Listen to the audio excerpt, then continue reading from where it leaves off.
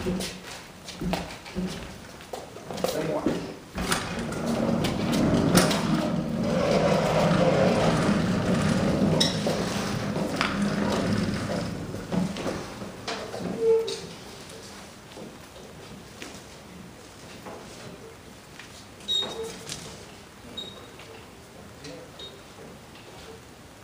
uh, I from my house, uh,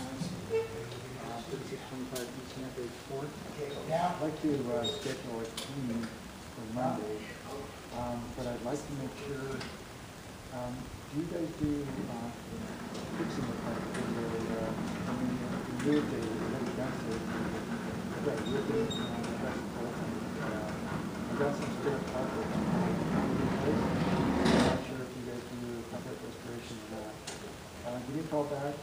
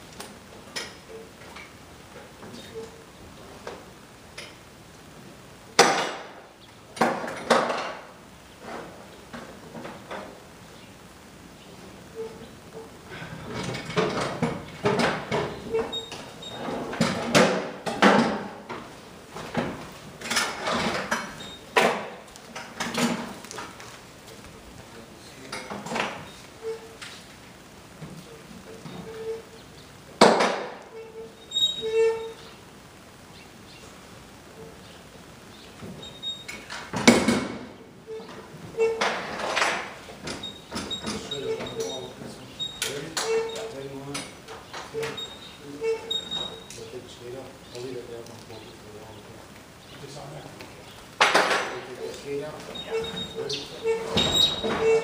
you.